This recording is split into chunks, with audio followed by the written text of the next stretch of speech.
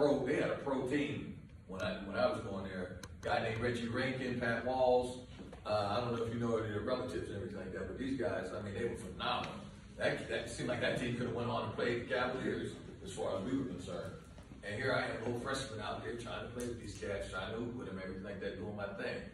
And uh, although it was fun, that seemed like it went so fast because I was a freshman, and the next thing I blinked, I was a senior. And now the scary part, the scariest part of getting older is not knowing. That's the scariest part.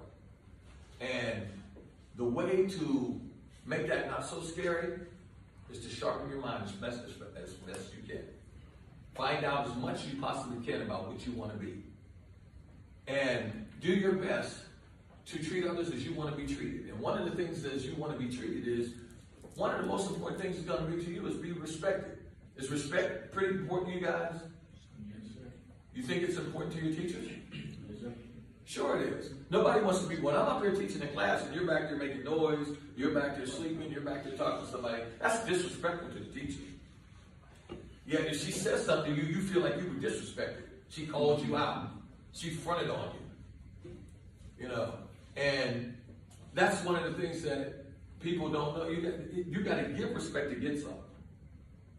So that's important to you. So you guys admit it, getting respect is very important to you. Because respect goes a long way. You respect me, I respect you. And that causes me to want to believe in you. Because I believe you can do this. And then I'll share with you a little extra. How many people, I bet some of you guys got a special relationship with your teachers that the other person doesn't have. Would, would, is that fair to say?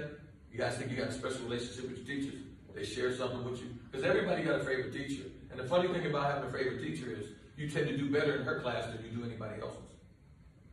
Who's your, anybody got a favorite class that they like? How many math guys in here? Oh, okay, okay. How many guys that are social, um, social, social, uh, what do we call it? Political people. Anybody doing well in political? Teachers, stop raising your hand. Y'all. so you guys, as you can see, that's a fine example right there. The te- uh, how many? Uh, let me ask this to the teachers or the kids. How many of you guys are following the destiny that you chose when you were in school? Anybody want to be a teacher when they was in school and you followed your destiny? Has it been rewarding? Yeah. Now listen to this question. I asked them, did you follow? They said yes. Would you guys notice that? They said yes. And then I asked you, was it rewarding? How long did it take them to answer? So, I was. Uh, would you consider that an immediate response? Huh? No, no. I would consider it an immediate, immediate response. As I said, did you enjoy it? Are you glad you did? And they said yes. I didn't even get to 1001, 1003 sections, 1001, 1002, 1003. I didn't get to that. I didn't get to 1001. He answered it immediately to me. So that just says to you, they followed, they had a dream, they followed their destiny, and they reached their destiny. Not many people can say that. Right. Because to me, my thing was, I didn't want to work in a steel mill. In fact, I wanted to be, I wanted to have a job that I was clean. So I probably took it a step further because I don't actually don't have a hair salon where I actually wash hair. So I never get my hands dirty. I, I, I keep them clean. But at the same time, your ability to deal with public comes from your manners and your ability to respect people. So uh, as I break that down, I, and I encourage everybody to learn how to play chess, it teaches you how to think. Chess is a game that teaches you how to sharpen your mind. Anybody ever played chess before? Okay, you guys are on your way. Keep it up. Don't stop. Because chess just helps you break it down to if I make this move, he'll do that. And if I do this, he'll do that. And if I do that, he'll do this, this, and this. That's how I started There you go. Well, that's how you break down your thinking. That's how you avoid making mistakes. So once you play it in your head, then you get a chance to go over it and then you actually do the move. What are the games that you play? Anytime you play a video game, what's the objective of a video game? You said win. I heard that. What, what's the other objective? Finish the game as fast as you can. Finish the game as fast as you can. I thought you were going to say advance to the next level. Because if you don't advance to the next level, you can't what?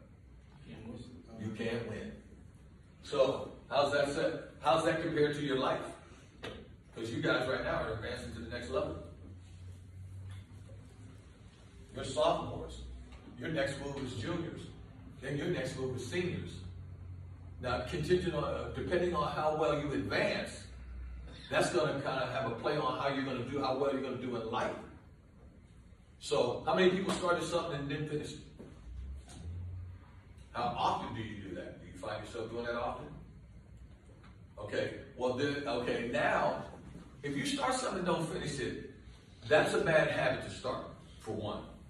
But there could be mitigating circumstances. Say mitigating circumstances. Mitigating circumstances. Mitigating circumstances. And what that means is there's some things that are involved why you don't want to finish this. Sometimes you don't finish because it was boring. You lost interest. This wasn't really your thing. And then sometimes you are a quitter, which you don't want to be. You want to be, you want to move that piece out of your life as fast as possible. You don't want to quit.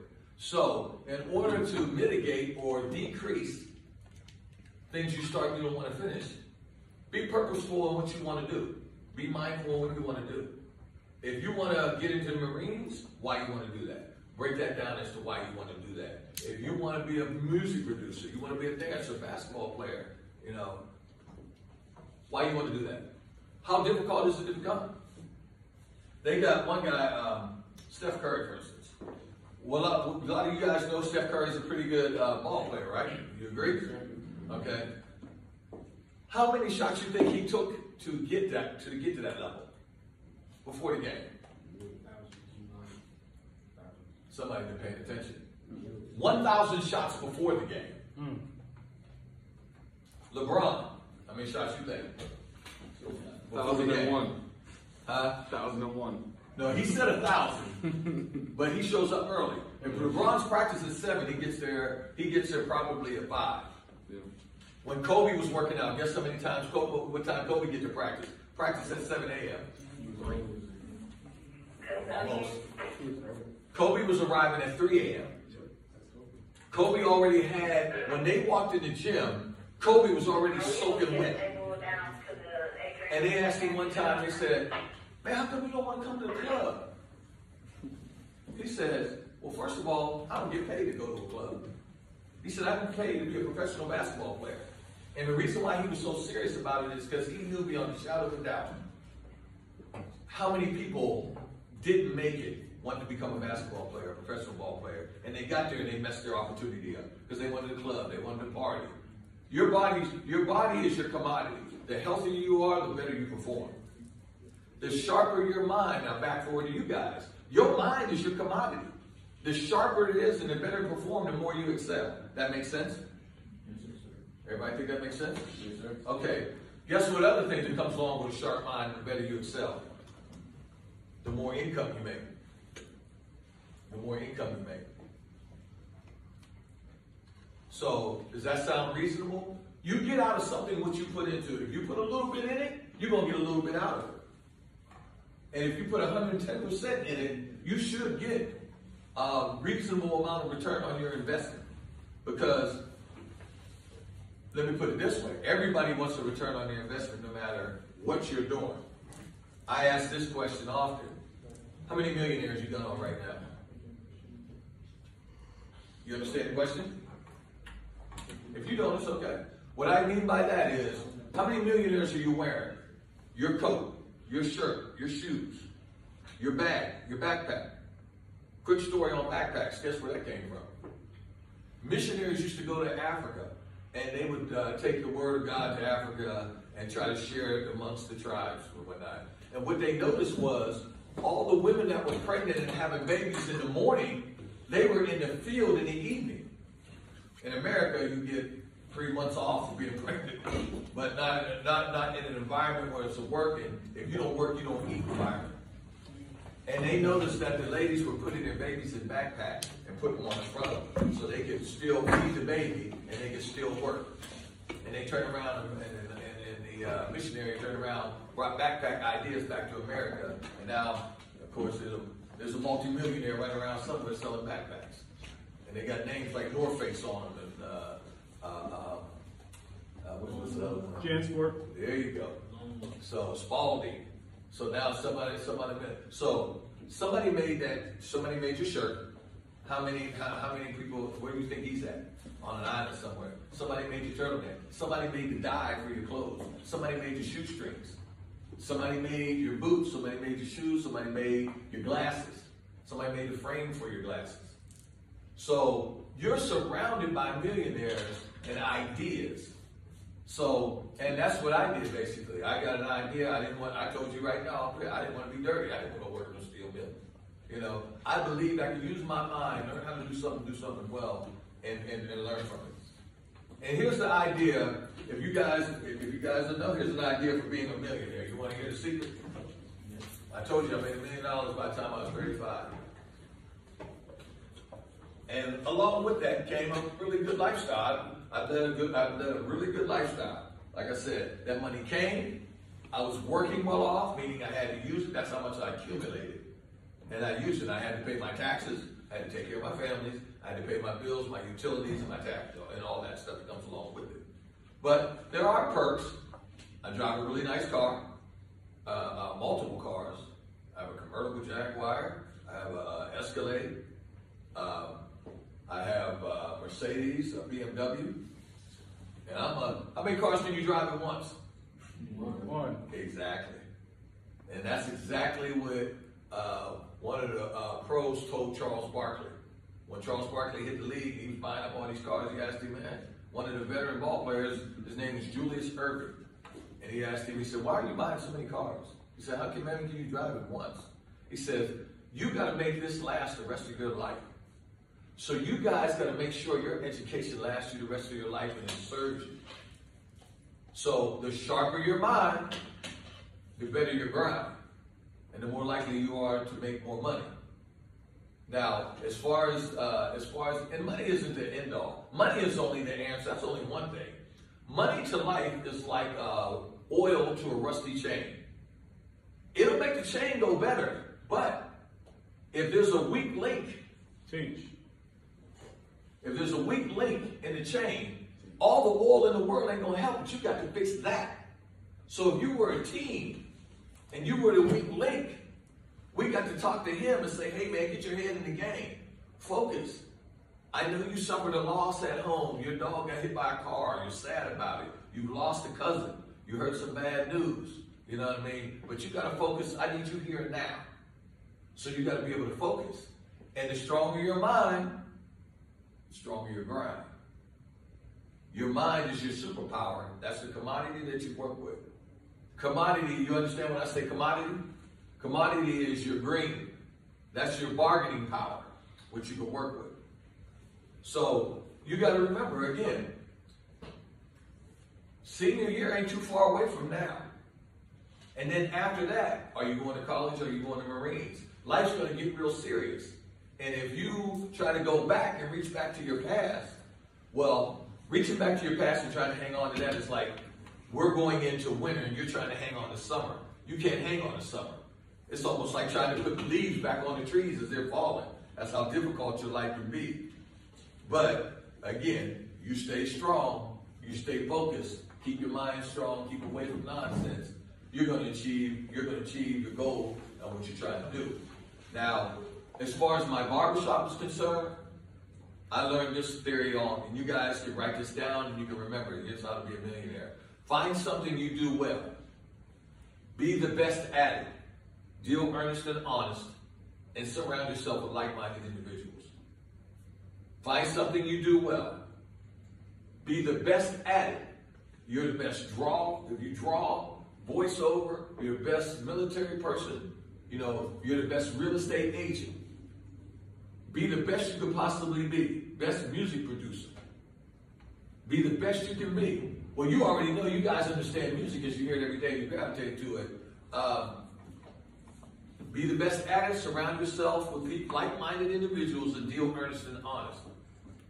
You will be wealthy. Anybody know the name Rodney Jerkins? Rodney Jerkins is a music producer. Rodney Jerkins did one song for Britney Spears. You guys know who she is? He did one song for Britney Spears. Know how much? And the money he made from that one song, he bought a he bought a uh, oceanfront property in Florida and a Lamborghini the same time. That's how much money he made producing this music, giving it to this pop star, and she sang it, and the song exploded. And he got a check before she got a check because he was the producer. Producer owns the music. The artist performs music. Prince traced his name to the artist, and nobody understood it because he had a dispute with his record company. And he said, they, they told him, well, we own your name. You can't use your own name. So he said, okay, then I'm going to change my name to the artist, formerly known as Prince, which is a great play, a magnificent play on words because that's what they call all musicians, artists. They don't even recognize them as their name, they just call them the artist. So as you get older, and again, and the same people that are making that money, they did the same thing you're doing right now. They're trying to make sure their brain is sharp so they can learn how to do this business, so they can learn how to make it work for them. So the better you pay attention in class, like even the art of listening, I give you a little cheat. The art of listening is to put your hands down, empty your head, close your mouth, and open your ears. Empty your hands, close your mouth, open your ears. And you'll be able to receive the information because you only get out of something what you put into it. So after I went to Barber College one year, my first year out of Barber College, I made seventy-two thousand dollars. Before I started Barber College, I was making seven dollars an hour because I was a good barber and I knew how to cut. I knew how to cut different styles. I could cut any nationality's hair to set my chair. I ended up graduating Barber College one year at the top of my class. And the crazy thing about it, 70% of the people that I cut their hair followed me to my new shop. Now, my shop, my haircuts are $30 a person. Most people pay me 40 to $50 a cut. So, I normally take, um, as far, uh, I normally do three to four people in an hour. And I learned, I said, well, is there anything I can do to make more money? And I said, how do I change, how do I add to that? So I learned how to do women's hair. And then I learned how to do twists. Then I know how to do locks. Now you coming in, you coming in, it's a hundred fifty dollar hairdo right there. You guys get. That's how much you would charge. And then you're talking about dyeing. So that's another fifty dollars I add to it. So you're actually going to a salon and get that correct. And it's one thing to have your friends do your hair, but oiling your scalp, the proper maintain and managing your hair, helping you grow your hair out to get to this point. You have to keep your hair healthy. You have to keep your hair washed. You have to keep it clean. You see what I'm saying? You have to get uh, conditioner. So there's things that go into maintaining the hair in a proper way. When you see somebody's hair looking really, really dope or fresh, what's the new word? I don't know. What's the newest word? When you say somebody's tight, oh, his hair is tight. What do y'all use now? Clean. You say a lot of clean. That's clean. That's cold. That's fire. That's hot. It's, it's what? What'd you say? Oh, Same thing he said. I'll say it's hot. Okay, it's hot. I didn't even know y'all still see. I didn't even know kids still say it's nice because that's what we used to say. But hot fire is the newest thing. I that, that's fire. That's tight.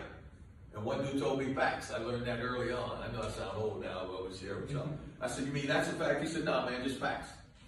I said, "Oh, meaning that's right. Facts.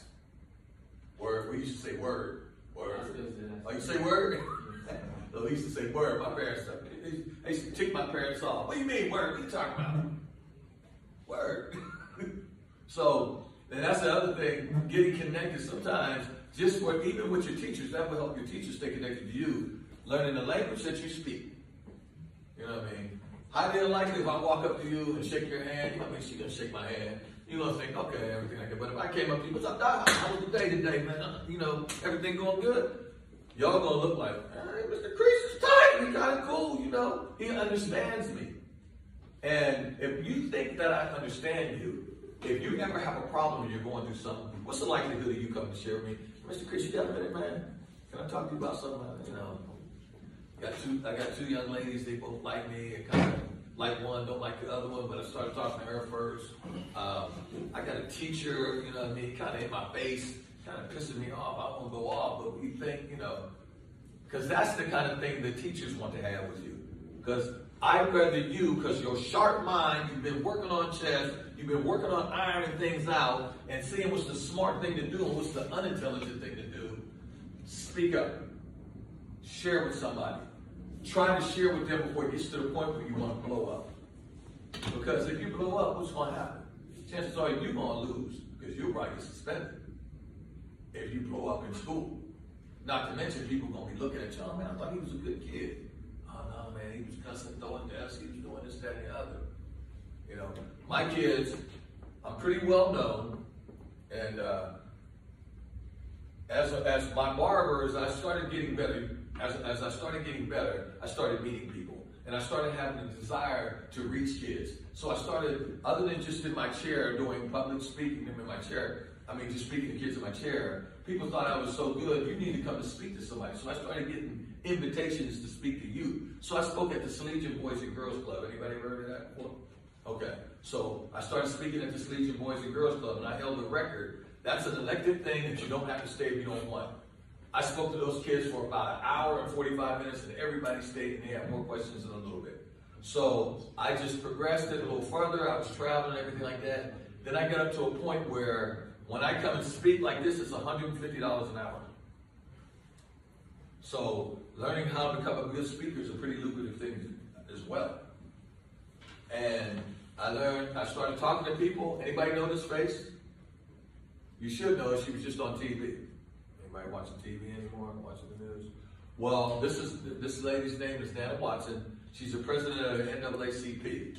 And uh, one of the things that she's talking about is she's trying to bring, uh, the school board was trying to charge more money, or trying to get more money out of taxpayers to build schools and put stuff in schools. Only problem is, they got a lot of money last time around and didn't use it, and, didn't tell you what happened to the money. And then you turn around and start asking for more. So she's one of the posts in the community that's raising the question, where the money at? Where the receipts? Y'all heard the receipts? Y'all heard that? They want receipts on Diddy now. and this is one of my mentors, and um, he's a superhero. He's uh, uh, House Representative Ray Miller. He's wrote legislation, he's wrote laws for our country. And the crazy thing about Ray Miller is, and he speaks at some of my some of my conferences. He came from Mount Vernon. Everybody know where Mount Vernon is? He told a story where they didn't get new shoes, they got new cardboard. So if your shoes got a hole in them, you get new cardboard, not new shoes. You guys go get shoes, you got choices, you got colors and everything like that. You know. So this is a representative of the State House of the United States of uh, the United States of America, White House. This is where he worked, and he just as cool as a fan. And um, as I learned how to uh, speak them, and this is Dan Watson, this is another board representative. So these are the people that I'm meeting with on a regular basis. What they want to hear from little old Daniel Crease, because little old Daniel Crease is a child advocate and a senior advocate. So I don't like the injustices that seniors are dealing with. I don't like some of the injustices I see with veterans dealing with. So I definitely don't like to see what you kids are going through. So I definitely call them on the call them on the carpet.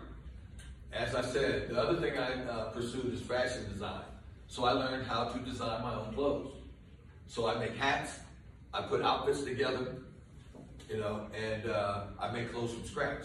So if you really want to be different, this is a very lucrative thing too, because uh, this jacket is about three hundred fifty dollars.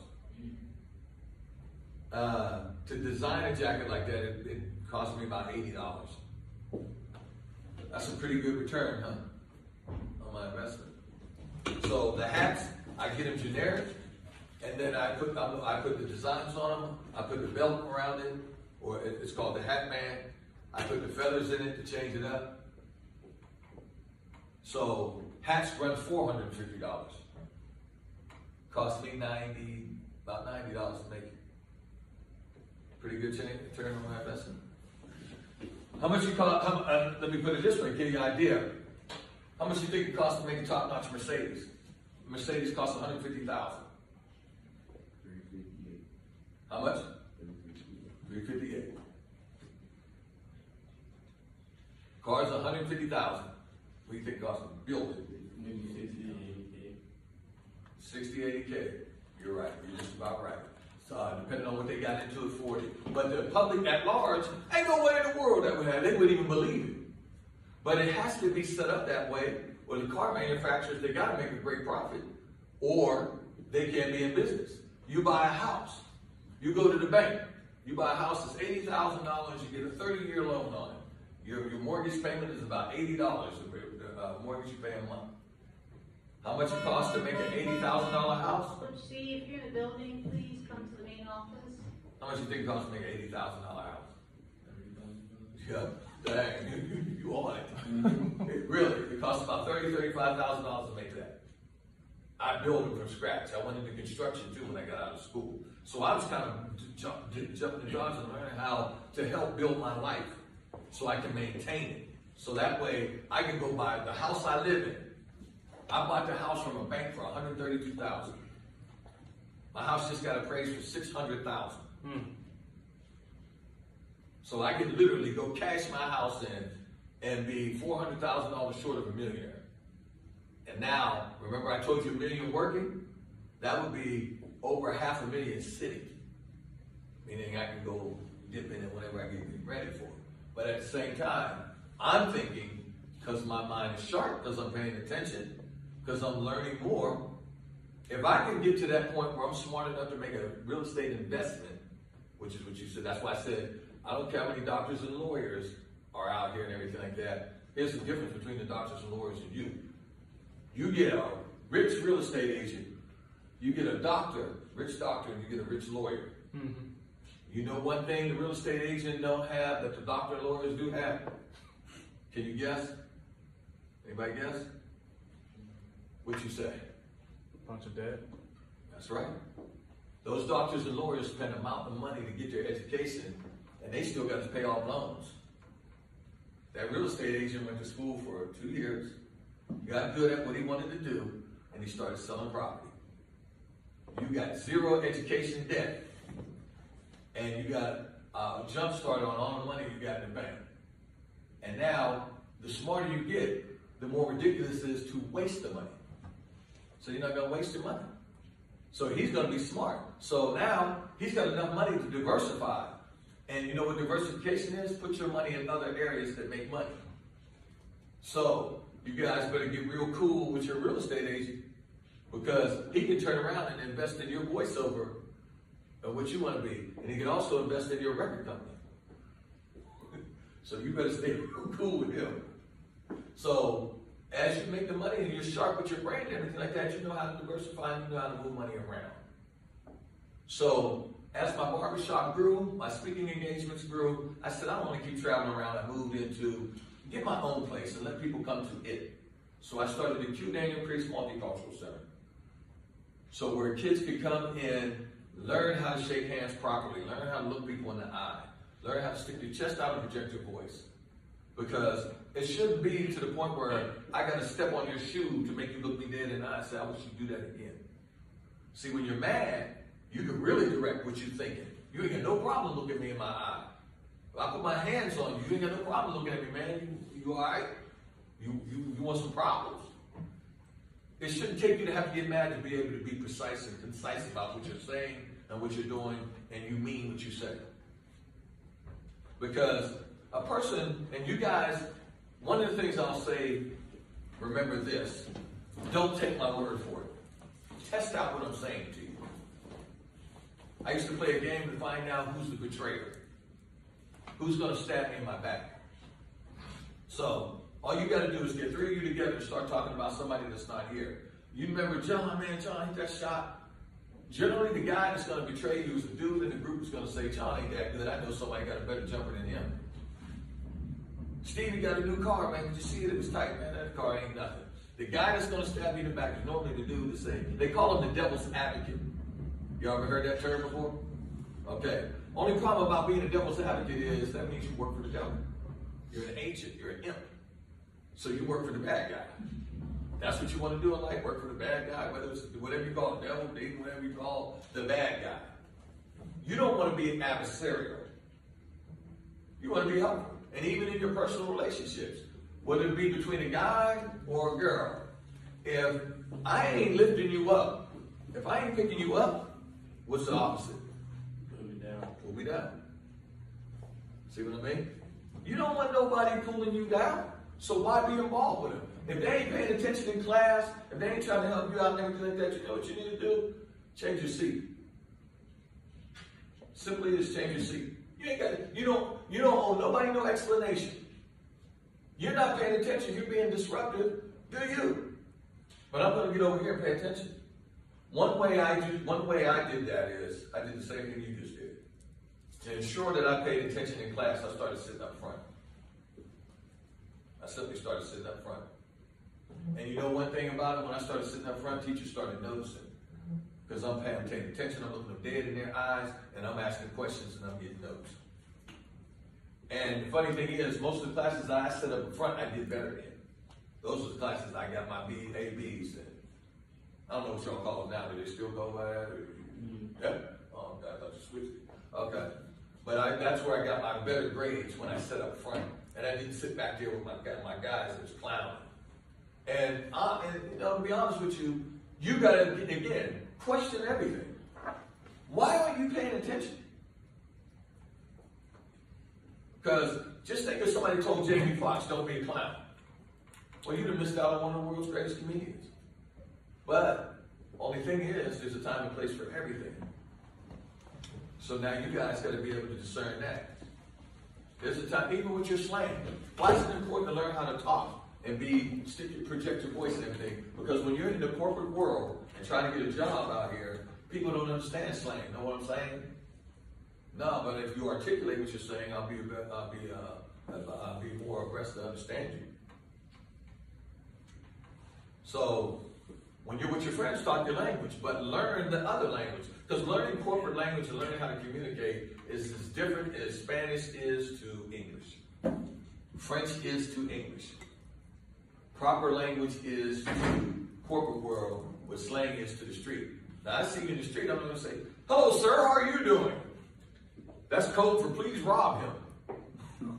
He must want to turn in them shoes. You know. I say, I'm sad, man. Even your walk. You guys know, did you know your walk is even important? Yes, sir. Walk is strong. Me and, me and my daughter, we play, we play a game, and uh, she said, Dad, I said, what does your walk say about you? And she says, uh, well, I said, here's your walk. I said, you know what your watch says? You're not paying attention, and you're likely to get somebody trying to. You're more likely somebody trying to take advantage of you if you're walking in a parking lot or something, walking down on a sidewalk, versus me walking like this. She said, well, you walk like this.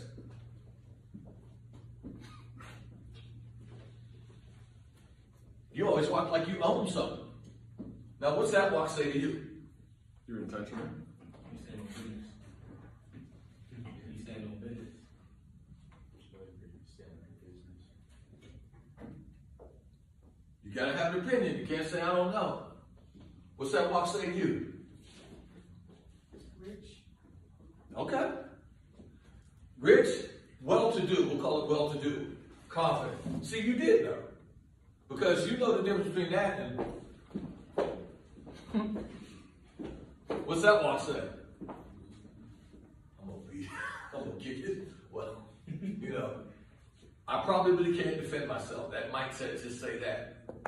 Then again, you never know. You might find out you're black belt, but you just like to walk.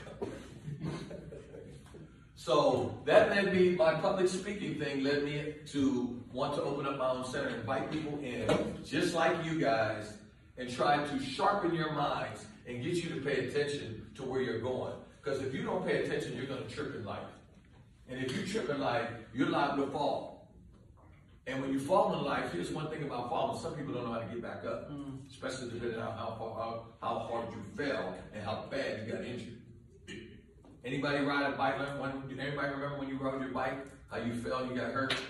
How fast did you get back on? And don't let the suit fool you. I still hold the record for one couch and six garbage bags since I was a ramp jumper. I'm going to be Evel Knievel. I still hold that record. Okay? So, don't let the suit fool you. I'm still riding Willie. Alright? And I mean, not just one, I mean riding. Alright? My son, my my kids, I tell you, you guys probably know more than me than my kids do right now. My son looked at me, he's like, Ryder, Willie, what would I want to do that for? Because he don't know no better. But back in the day, if you could ride a wheelie, that says, if nothing else, you the man. And uh, when somebody calls you you the man, what happens after that? I can't hear you. You. I can't hear you. You. You heard the man. You get respect. So when you're good at something, what did I say? It goes right back. Find something you do well. Be the best at it. Deal earnest and honest. Surround yourself with like-minded individuals.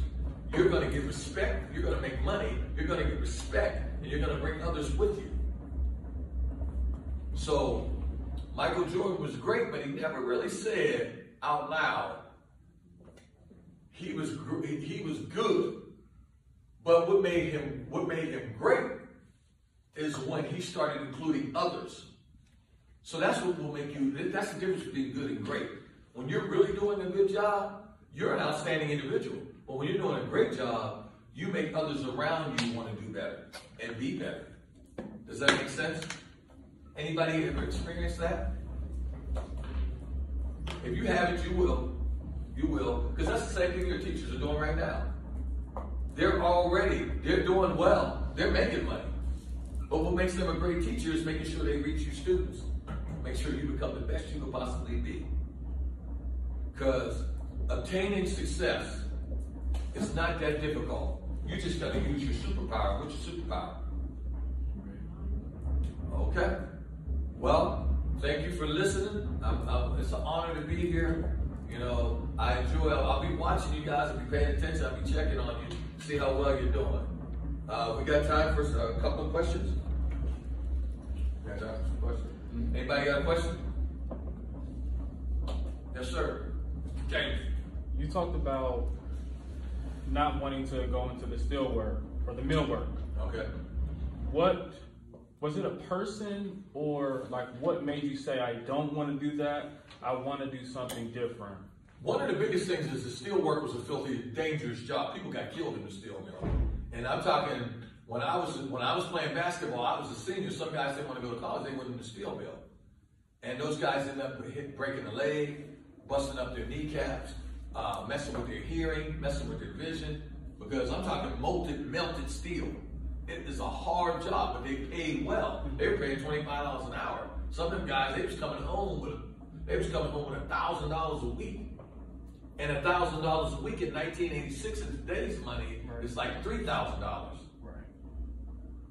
Beats making minimum wage when I was your age was like five dollars. Five twenty-five, five sixty-five, eighty-six in eighty-six. So can you imagine just because you graduated and you went to work at this job, even though it was dangerous, you was bringing home four grand a month and you still lived at home and you wasn't even paying rent. So four grand a month, 48 times 12, $48,000. You was making, we call it grown man, you make grown up money. $48,000, dude, you could go buy your own house and any car you want. And dress, oh my. I went putting a girl on the handlebars, you know what I mean, and then she graduated, she ain't, all I had was a jump shot and a smile. She dated a dude, he got a car with air conditioning and all the doors open. when I got my first car, it had a shotgun blast to the windshield and no exhaust. But it ran. And guess what? They got in. Because that beats walking. Mm-hmm. It beat walking. I never forget the first time I found out how cool I was. I had a new outfit on. I thought I was cold. Uh-huh. No, strutting. Dude pulled up in this junky car, was like, da da da da da and he had this girl in there. She was pretty as she wanted to be. So I looked, I kind of snickered. So, and she looking at me, she's smiling, she looking me up and down, so I'm strutting hard. So then I went ahead, I crossed the street right in front of him. She's smiling, he looking at me snarling, looking at me all hard, everything like that. And then when I cross the street, now he comes and turns the corner. Now he's riding, now I'm looking at him, and his snarl went to a smile. Because I'm walking smooth, he looking at me and he's snickering. And he putting on down the street. What changed? What changed from here to when he went around the corner and he's driving and looking at me? What changed? What did he realize?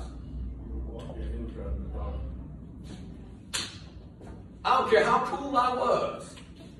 When he put it down the street, I was still walking. And he got the girl. I vowed that day I'm gonna get me a car. I worked hard, I saved my money, I got me a car. And the first thing I could afford was a car with a shotgun blast to the windshield and no exhaust. But one day, I'm gonna save enough money to give me an exhaust. I'm gonna save enough money to give me a windshield that ain't cracked that I gotta peek outside and drive. And I did. And that car, ironically enough, is what drove me to Columbus. I graduated, I worked, got the car tuned up, got it tightened, everything, and I drove to Columbus, and that brought me here. And it started my career at Franklin University. I was going to school to be a lawyer and a psychologist. I wanted to learn how you think, and I wanted to learn how to operate, how the law worked.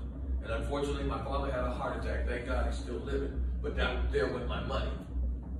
And then boom, life came at me fast. I had to learn how to grow up, and I was not going back home to work in a mill. So I figured it out because I had manners and I knew how to communicate and I knew how to talk. I went into a job that was customer service. And I ended up working at Sears and I ended up working a commission job. And then I made my money plus commission. And then I worked it out from there. But then I also found out I don't want to be in a position where I could be at a job and somebody can tap me on my shoulder and say, hey man, you've been here for 10 years, I really appreciate it, but uh, we just eliminated that department. But you're a great guy. So how do I get out of that situation? Work for myself, become an entrepreneur. That way, if somebody tell me, hey, I don't want your business, I ain't coming to your barbershop no more, good. You're gonna make room for all these other people. Because I figured out, found something I could do well, mm-hmm. become the best at it, deal earnest and honest, and I surrounded myself with like-minded individuals. Anybody else got a question? Yes, sir. What made you want to design the clothes and all that stuff? Because I love to dress and I didn't want to wait. Because most people that buy a bad outfit and it don't fit them, what do you got to do? You got to go to a tailor and get it to. Get somebody to do it. Well, I took home ec to learn how to sew. So that way, if I want to wear something to that out to a, a function that's going to happen tonight, if I bought that today and I want to wear it tonight and I don't know how to sew and I can't find nobody to sew, now I came with my bad outfit tonight. I said, Mom, Dad, I'm a problem solver. So I learned how to solve the problem. And I learned how to how to work it to uh, see what I need to do to make the problem go away. So I learned how to iron my clothes. I learned how to wash my clothes. I learned how to sew my clothes. And now that millionaire that's making all this money off me, now I can go get a blank shirt, t-shirt, find a nice iron on, put it on there, heat it up, boom. Now I got my own designer shirt for nine dollars versus going to pay somebody else some money for thirty dollar shirt with something goofy on it. You did? Okay. Anybody else? Yes, sir. I got you. You say you did real estate on the. I did real estate. Once I started making money, I learned I learned something rules and regulations about life. You gotta eat. First of all, you need shelter, you need clothing, you need food, you need water. So invest in any one of them, you're gonna do well. So as far as real estate, I learned about shelter. So how do you go purchase shelter? So I learned how to work my money to purchase something because I know people don't need a place to live. And now renting is going through the roof because a lot of people don't have the credit to go buy a house, so they got to rent. And the good thing about that is, if I bought the house and I get it paid off, again, remember residual income. Your, if your house is already paid for and somebody's still paying you rent, what is that? That's going to keep coming, keep coming, keep coming. So on a thousand dollars on a house that's already paid for, so you ain't got to pay the bank nothing else. Pay if you buy it. So if I'm paying you a thousand dollars a month, how much is that a year? Twelve thousand dollars. And how many times did you have to go to that house and lift your finger to do anything? Zero. Somebody's paying attention. That's what I'm talking about. Times two. Twenty-four thousand times three. You still didn't lift your hand. You still didn't go